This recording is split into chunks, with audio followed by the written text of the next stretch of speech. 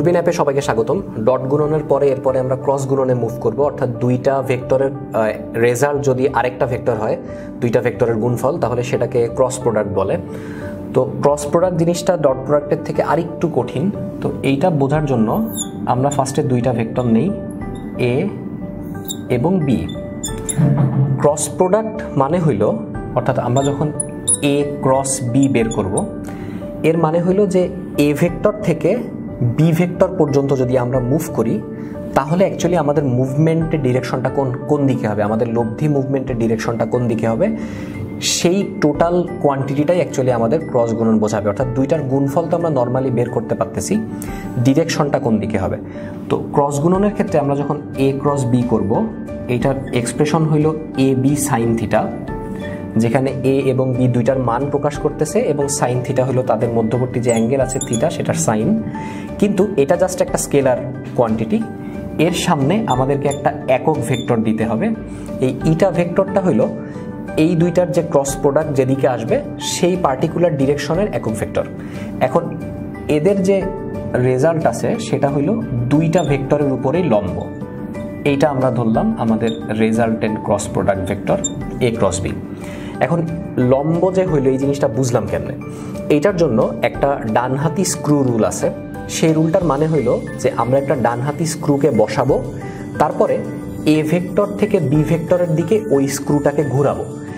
ঘুরাইলে স্ক্রুটা যেই দিক বরাবর অগ্রসর হবে, সেইটাই হবে আমার ক্রস প্রোডাক্টের ডিরেকশন এইটা বের করার আরেকটা সিস্টেম হইল যে আমরা নিজেদের ডান হাতটা যদি এখানে ইউজ করি তাহলে অ্যাকচুয়ালি ডিরেকশন বের করে ফেলতে পারব। ডান হাতের যে বৃদ্ধাঙ্গুল থাকবে, সেইটা দিয়ে আমরা আমাদের প্রথম ভেক্টরটাকে সূচিত করব এবং ডান হাতের যে বাকি চারটা আঙ্গুল যে ডিরেকশনে আছে, সেটা দিয়ে আমরা দ্বিতীয় ভেক্টরটাকে সূচিত করব এবং আমাদের ডান হাতের ঠিক লম্ব বরাবর, সেটা উপরের দিকেও হইতে পারে নিচের দিকেও হইতে পারে, লম্ব বরাবর আমাদের ক্রস প্রোডাক্টের ডিরেকশনটা থাকবে। এখন এ ক্রস বি গেল। আমরা যদি বি ক্রস এ বের করতে যাই, সেইটার ডিরেকশনটা তাহলে কোন দিকে হবে? বি ভেক্টর থেকে এ ভেক্টরের দিকে যদি আমরা ঘুরাইতে যাই, সেই ক্ষেত্রে ডানহাতি স্ক্রুটা নিচের দিকে যাচ্ছে। অর্থাৎ এই ডিরেকশনটা আমাদের বি ক্রস এ বোঝায়। অর্থাৎ এ ক্রস বি এবং বি ক্রসে অ্যাকচুয়ালি সমান না। এটা কখনোই আমরা বলতে পারব না। ডট গুণনের ক্ষেত্রে এই ঝামেলা নাই। এ ডট বি এবং বি ডটে সবসময় সমান হবে। এইটার ক্ষেত্রে বলা যাচ্ছে না, এদের মধ্যে একটা ডিরেকশনের ঝামেলা আছে। এ ক্রস বির ডিরেকশনটা যেদিকে হবে বি ক্রস এর ডিরেকশনটা হবে তার সম্পূর্ণ উল্টা দিকে। এখন এই এ বি সাইন থিটা যে দুইটার মান, এটা যদি আরেকটু চিন্তা করি, যে থিটা যখন শূন্য ডিগ্রি হবে, তখন সাইন থিটা ভ্যালু জিরো এবং ক্রস প্রোডাক্টটা অ্যাকচুয়ালি শূন্য আসতেছে। তাহলে এটার মানে কি? যে দুইটা ভেক্টর যদি একই ডিরেকশনে হয় এ এবং বি তাহলে কিন্তু আমরা কোনোভাবেই একটা স্ক্রুকে রেখে সেটাকে ঘুরাইতে পারতেছি না। অর্থাৎ দুইটা একই ডিরেকশনে আছে সো একটা ভেক্টর থেকে আরেকটা ভেক্টরে যাওয়ারই কোনো প্রশ্ন আসে না, দুইটা তো সেম ডিরেকশনই বোঝাচ্ছে। এদের ক্ষেত্রে স্ক্রুটা কোনো দিকেই মুভ করবে না এবং রেজাল্ট হবে শূন্য। আর দুইটা ভেক্টরের মধ্যবর্তী কোণ যদি নাইনটি ডিগ্রি হয়, সেই ক্ষেত্রে আমরা এ ক্রস বি এর একটা মান পাবো এবং সেটা হবে direct A B sine theta direction সহ এবং এই পার্টিকুলার ক্ষেত্রে আমাদেরকে পুরা নাইনটি ডিগ্রি আমরা রোটেশন করতে পারতেছি। এ ভেক্টর থেকে সম্পূর্ণ লম্ব ডিরেকশন বরাবর এবং অনেকখানি রোটেশন হওয়ার কারণে আমরা এবি সাইন থিটার ভ্যালু পাবো। অর্থাৎ ডট গুণনের ক্ষেত্রে আমরা যে শর্তটা দেখছিলাম যে দুইটা ভেক্টর যদি পরস্পর লম্ব হয়, তাহলে তাদের ডট গুণন শূন্য। ক্রস গুণনের ক্ষেত্রে তাদের মধ্যবর্তী কোণ যদি শূন্য হয়, অর্থাৎ সমান্তরাল ভেক্টরের ক্ষেত্রে ক্রস গুণনটা জিরো হয়। এই দুইটা সূত্র আমাদেরকে বেশ কিছু ম্যাথমেটিক্যাল প্রবলেমে হেল্প করবে।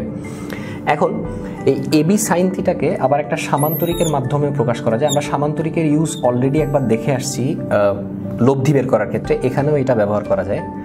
তো এই আমরা ধরলাম দুইটা ভেক্টর। তো এটাকে যদি একটা সামান্তরিক কমপ্লিট করি, এই যে রেখাটা, এই অ্যাঙ্গেলটা যদি থিটা হয়, এই রেখাটা কিন্তু বি সাইন থিটা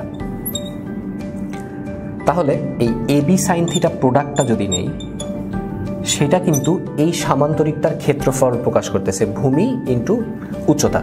অর্থাৎ দুইটা ভেক্টর ক্রস প্রোডাক্টের মানটা যদি আমরা শুধু নেই, সেই ক্ষেত্রে আমরা ওই দুইটা ভেক্টর দিয়ে একটা বানানো সামান্তরিকের ক্ষেত্রফলটা একবারে বের করে ফেলতে পারব।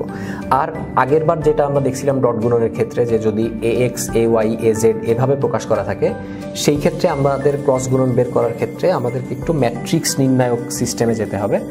অর্থাৎ এ ক্রস বি দুইটা ভেক্টর ওই সিস্টেমে বের করতে গেলে আমাদেরকে একটা নির্ণায়ক নিতে হবে, যেখানে আই যে কে থাকবে এবং তাদের করেসপন্ডিং যে অংশগুলো আছে, সেগুলো আমরা এখানে লিখে দিব। এরপরে এই নির্ণায়কটার মান যখন আমরা বের করব, তখন অ্যাকচুয়ালি আমাদের এ ক্রস বি চলে আসবে। সেটা অবভিয়াসলি একটা ভেক্টর হবে। তো যাই হোক, আমরা ক্রস গুণন সম্পর্কেও জেনে ফেললাম। আজকে পর্যন্তই, পরের লেকচারে আবার দেখা হবে। সবাইকে ধন্যবাদ।